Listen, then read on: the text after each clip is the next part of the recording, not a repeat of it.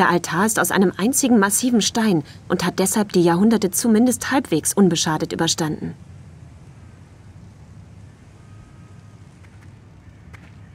In der Mauer steckt ein hellblauer Stein. Seltsam. Sieht völlig anders aus als die anderen. Der Stein ist lose. Mit ein wenig Anstrengung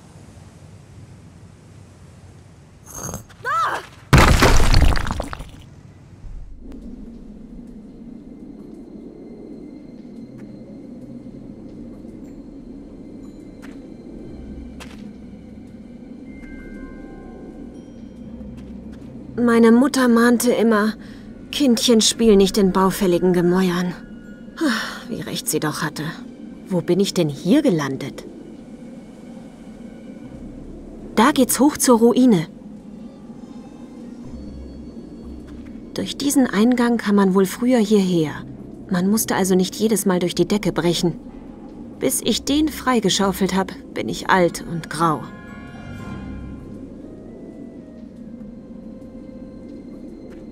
Durch den Spalt kommt ein kalter Luftzug. Was sich wohl dahinter befinden mag? Ich krieg nicht mal die Finger dazwischen. Mal ganz davon abgesehen, dass ich mir kaum vorstellen kann, eine massive Steintür mit den Fingern aufzubekommen.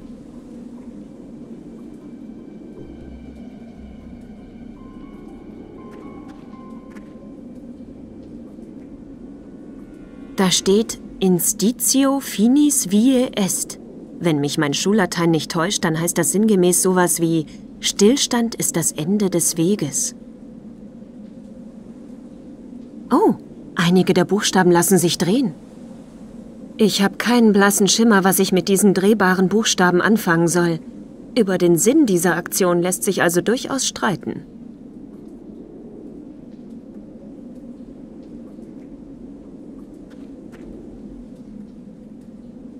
Ich habe keinen blassen Sch Einige der Buchst Einige der Buchstaben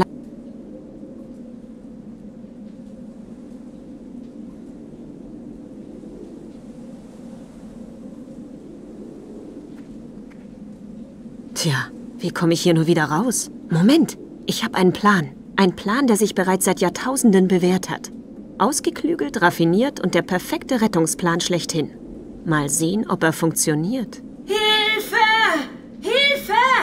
Holt mich hier raus! Hilfe! Ist da jemand? Hallo? Hier! Hier unten! Helfen Sie mir! Wie sind Sie denn da runtergekommen? Der Boden hat plötzlich unter mir nachgegeben. Wenn Sie nichts dagegen haben, würde ich diese Unterhaltung gern oberirdisch fortsetzen. Können Sie mich hier irgendwie rausholen? Warten Sie, ich habe eine Idee.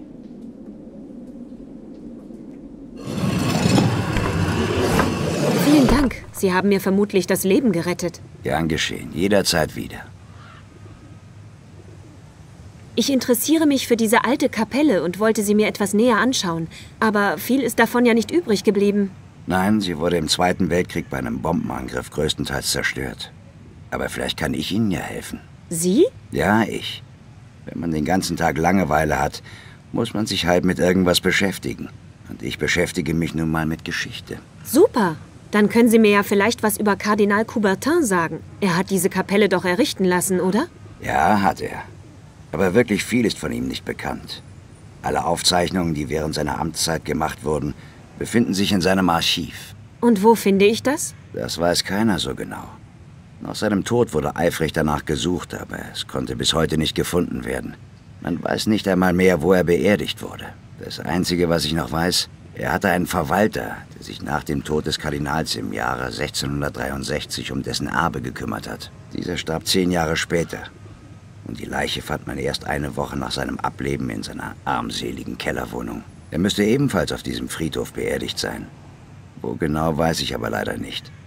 Ich weiß nicht einmal, wie er eigentlich hieß. Michel, glaube ich. Oder zumindest so ähnlich. Immerhin eine Spur. Zwar nur eine sehr kleine, aber besser als nichts. Keine weiteren Hinweise? Nicht wirklich. Man kannte ihn wohl ja auch kaum. Kardinal Coubertin hatte ihn auf einer seiner Reisen kennengelernt. Er stammte also nicht aus dieser Gegend. Hinzu kam, dass er sich sehr selten auf der Straße blicken ließ. Und wenn, dann nur derart vermummt, dass die Leute schnell angefangen haben zu tuscheln. Er stand fast 40 Jahre in Diensten des Kardinals. Okay, ich werde mich hier noch ein wenig umschauen. Vielen Dank nochmal für die Rettung und für die kleine Geschichtsstunde. Gern geschehen. Ich bleibe noch ein bisschen. Wenn Sie also noch Fragen haben. Bei dieser Kapelle komme ich ohne zusätzliche Hinweise nicht weiter. Vielleicht sollte ich mich mal auf die Suche nach dem Grab dieses Verwalters machen. Ich schaue mich hier noch ein bisschen um. Tun Sie das. Er ist völlig verdreckt und zerlumpt, scheint aber ein feiner Kerl zu sein. Und er kommt mir irgendwie bekannt vor. Viel ist von der alten Kapelle nicht übrig geblieben. Wohl eines der berühmtesten Wahrzeichen der Welt. Und es erinnert mich daran, dass man Städte auch zum reinen Vergnügen besuchen kann. Könnte. Müsste. Quark.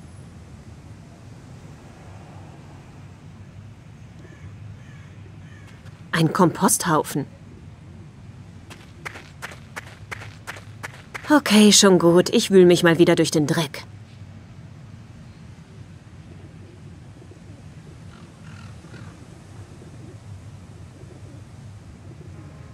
Nichts mehr zu finden. Ein alter Holzpflock. Eine halb heruntergebrannte Kerze. Der Stein ist hellblau und es ist ein stilisierter weißer König darauf abgebildet.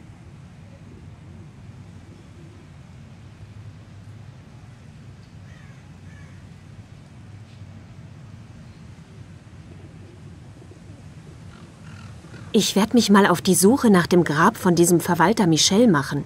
Keine sonderlich heiße Spur, aber da er anscheinend Kardinal Coubertin sehr nahe stand, ist es nicht ganz unwahrscheinlich, dass ich da etwas herausfinden kann. Hier gabelt sich der Weg in drei Richtungen. Gräber aus den 1650er, aus den 1660er und aus den 1670er Jahren.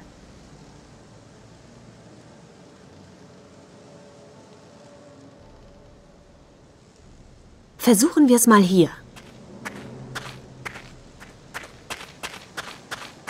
Die Gräber scheinen hier nach Wohlstand geordnet zu sein. Auf der einen Seite die Armen, auf der anderen Seite die Reichen.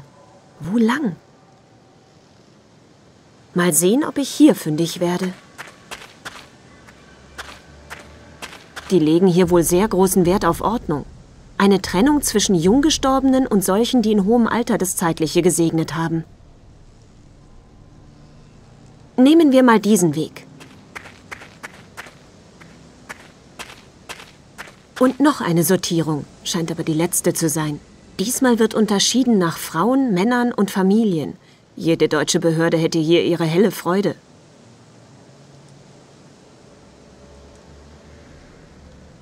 Mal sehen, wohin dieser Weg führt. Ob ich hier richtig bin? Der Verwalter des Kardinals wird ja wohl kaum eine Frau. Oder vielleicht doch? Michelle. Der Verwalter war tatsächlich eine Frau. Kein Wunder, dass sie sich kaum in der Öffentlichkeit zeigte. Und wenn, dann auch nur vermummt falls das bekannt geworden wäre. Ich vermute, dass man diesen skandalösen Umstand damals bei der Beerdigung entdeckt und zu vertuschen versucht hat. Deswegen ist das Grab wohl auch in Vergessenheit geraten. Hoffentlich finde ich hier einen entsprechenden Hinweis, der mich weiterbringt.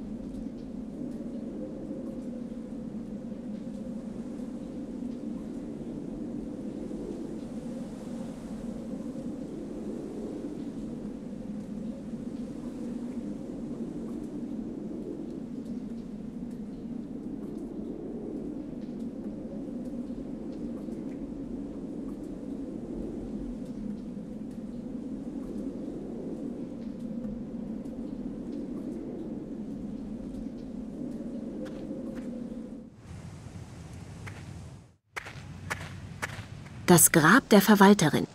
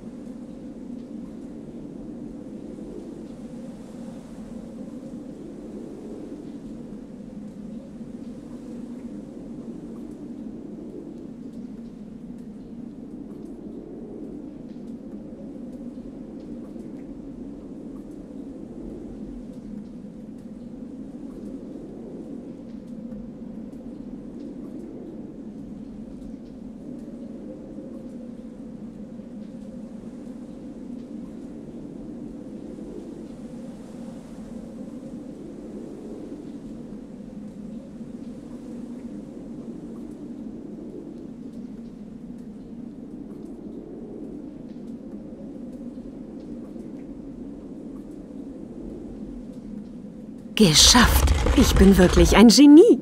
Nur ist natürlich mal wieder keiner da, um das ausreichend zu würdigen.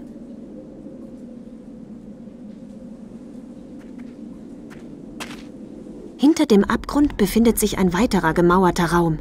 Da ich ein grundpositiver Mensch bin, hoffe ich einfach mal, dass sich dort das gesuchte Archiv befindet.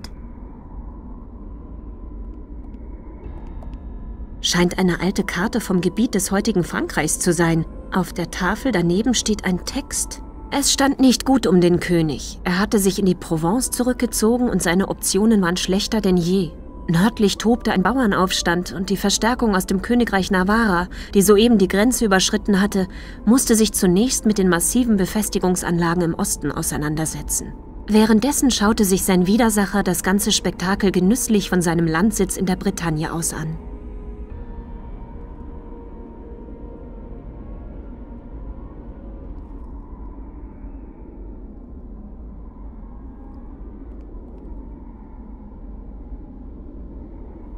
Im Mosaik fehlen offensichtlich noch Steine. Bevor ich die nicht alle eingesetzt habe, brauche ich mich erst gar nicht um die Positionierung zu kümmern. Im Mosaik passt. Scheint fast so, als stamme der Stein aus diesem Mosaik. Ob es für die übrigen freien Felder ebenfalls noch passende Steine gibt?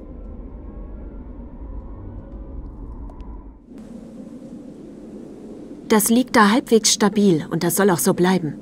Schließlich möchte ich den Rest meines Lebens nicht hier unten verbringen. Wenn der Clochard meine Hilferufe nicht gehört hätte.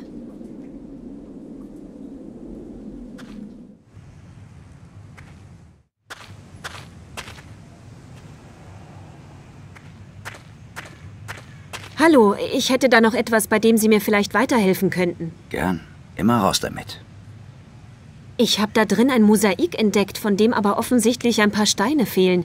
Hier oben im Altarraum fand ich einen hellblauen Stein, der perfekt ins Mosaik passt. Ich vermute, dass es noch mehr solche Steine gibt. Vielleicht ebenfalls in diesem sonderbaren Hellblau.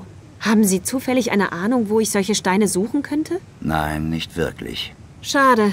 Wäre ja auch zu schön. Halt, warten Sie. Vielleicht habe ich doch eine Idee.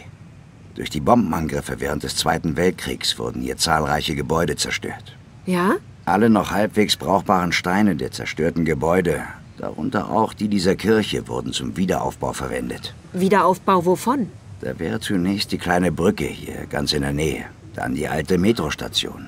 Das Gefängnis gehörte auch dazu, glaube ich. Prima, dann. Ah ja, und der Zoo. Ganz schön viele Gebäude. Wo könnte ich denn Ihrer Meinung nach am ehesten fündig werden? Die wurden fast alle gleichzeitig errichtet. Aber zumindest im Zoo brauchen Sie derzeit nicht zu suchen. Der hat nämlich noch nicht geöffnet. Okay, dann kann ich mir den also erstmal sparen.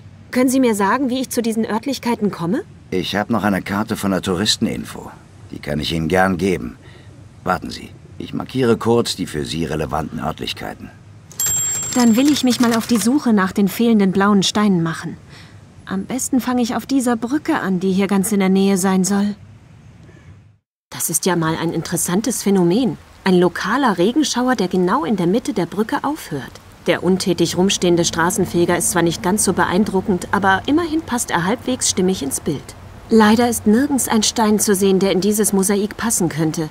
Vielleicht befindet er sich ja auf der anderen, völlig verdreckten Seite der Brücke.